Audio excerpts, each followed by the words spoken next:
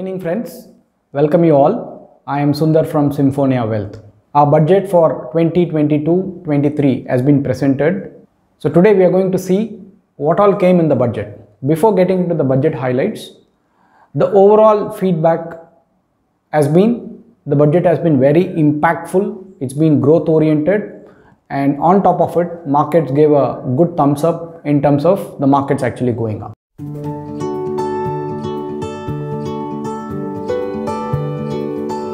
Comes to budget, as individuals, many of us are keenly looking at a number which is on the personal tax. And most of you will be aware by now that there has been no change in the personal income tax. So many of us would have expected some kind of a rebate or some kind of a tax relief or things like that.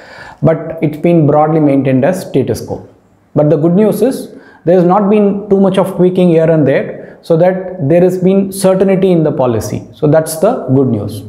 But apart from that, there has been one interesting announcement on the budget which can affect you and me provided you've been investing in the digital currency or the digital products which have been new entrant in the markets.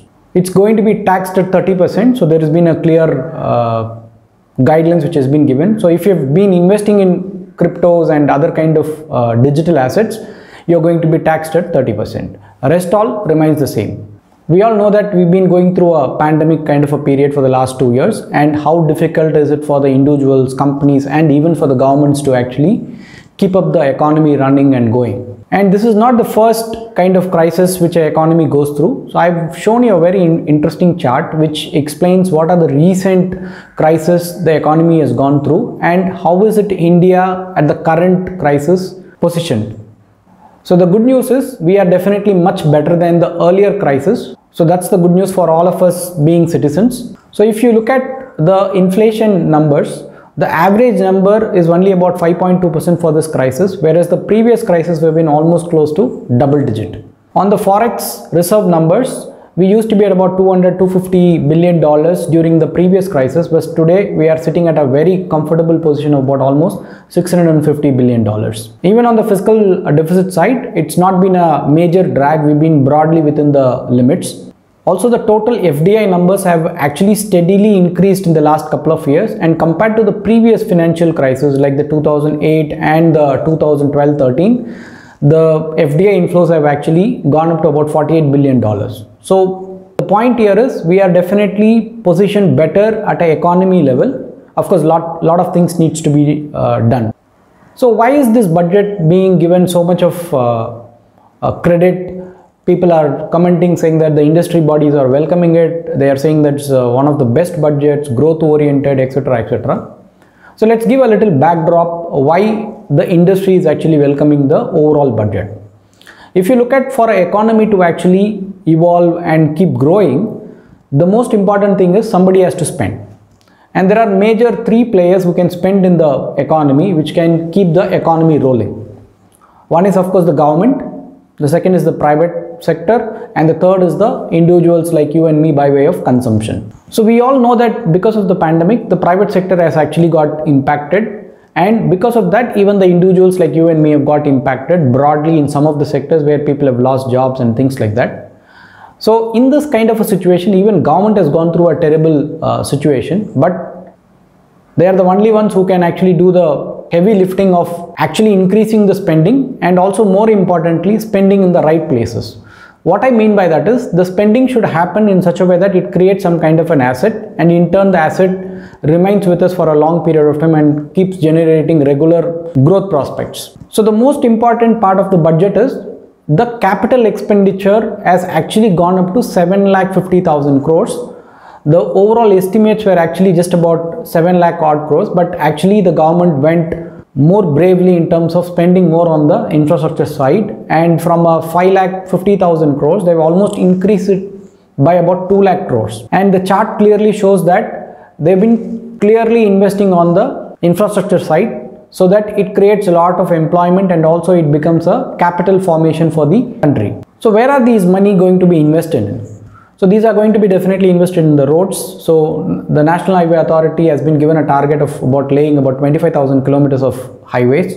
Majority is going to go into the railway, defense, uh, metro, ports, etc. etc. Which means we are creating a much more robust infrastructure so that the economy can actually keep growing at a very healthy pace. Some key important numbers we as citizens should be knowing is the overall expenditure for the year is about almost about 39 odd lakh crores, almost like 40 lakh crores. That's the overall expenditure for the country. Out of which about 22 lakh crores is about 20 to 23 lakh crores is about uh, the revenue. The remaining is the deficit which is going to be created and that's going to be funded. The good news is the current GDP is likely to grow at about 9.2% and even the following year which is the upcoming financial year the likely estimate is that the GDP will grow at about 8 to 8.5%, which means we will be actually coming out of this huge pandemic in a much more uh, strong way. The overall fiscal deficit for the next year has been pegged at about 6.4%, which is uh, likely doable because we can't be uh, continuously borrowing. Somewhere we should have some kind of financial prudence but the financial prudence is going to be very calibrated so that we actually end up meeting the target of 4.5% of uh, fiscal deficit by the year 2025. So which means we are steadily progressing. We are not uh, uh, taking our eyes out of our growth and uh, prosperity. So the government is doing every bit to make sure that the economy revives and continues to grow in a very good healthy way. The other important announcement is launching of a digital currency by RBI which can actually give a lot of credibility to the Indian uh, currency and the economy. And we will be using the best of the technology so that we are not left behind with any developed country. Another important thing on the digital side is there is a lot of uh, uh, th there is about 75 digital banking units are going to be set up whereby especially in the rural area so that the people will get access to do digital banking. It could be payments etc etc to the digital uh, network and to build that infrastructure, the government has been steadily investing on the BharatNet project whereby laying optical fibers connecting the entire rural India.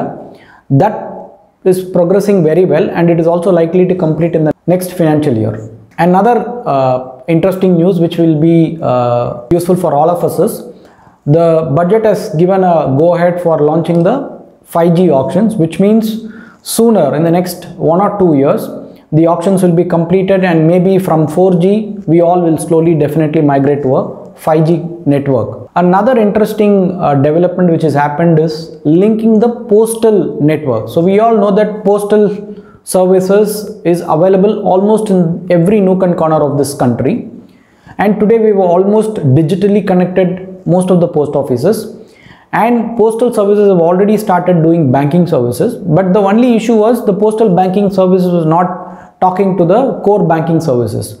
Now, even this 1.5 lakh network of post office bank is also going to be linked with the core banking services, which means if somebody has a postal bank, it is as good as any other bank so that they can actually do the uh, transfers and uh, any kind of banking services even if you hold a postal uh, bank account.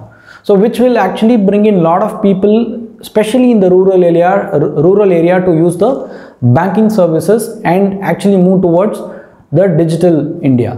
Overall it's been a very uh, good budget because the government which needs to lead us from the front has actually given a great signal of actually spending a lot of money especially on creating the infrastructure side which in turn will create a lot of employment and it will also create a lot of multiplier effects on different industries. So which can actually take us to to a stage where we can actually grow at a very sustainable pace for a very long period of time. So after the budget was announced, uh, Rakesh Jhunjhunwala was on uh, television and he actually used a, a, phrase saying that he's one of the most luckiest investor to be part of this journey and he really appreciated the efforts by the government in terms of building the overall budget and the budget can actually take India a long way and the only message he gave was believe in India and invest in India.